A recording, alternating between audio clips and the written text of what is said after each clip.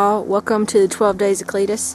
You seen the other day where I showed you how to call your bird in for dinner. Um, right now I'm going to show you some more on how to catch the rest of your dinner just the same way we did with this same with this same box set up. Just like that.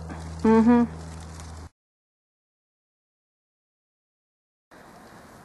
Alright. Now, the other day I showed you how to how to call in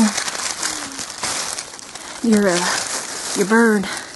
Today I'm gonna show you how to I'm gonna show you how to call in the rest.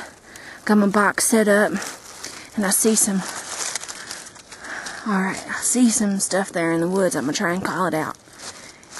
Yep, yep, yep, yep, yep. I see the yam coming. Yam coming out. Looks like there's more behind it.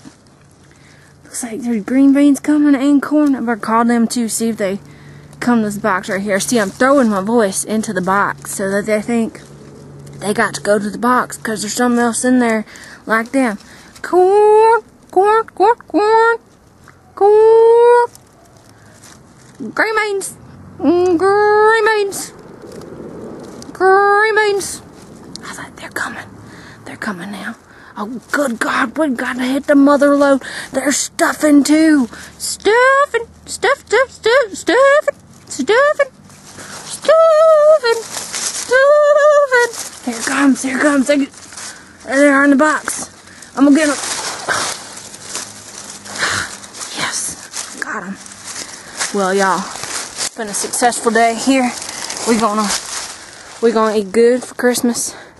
Thanks for watching the 12 Days of Cletus. You know, we didn't get any cranberry sauce or gravy today, but you can't always win, can you? You might just have to go to the store and buy them. Can't have it fresh from the from the woods. But y'all keep watching. Cheers to the beers. I'm drinking rum on Christmas and sitting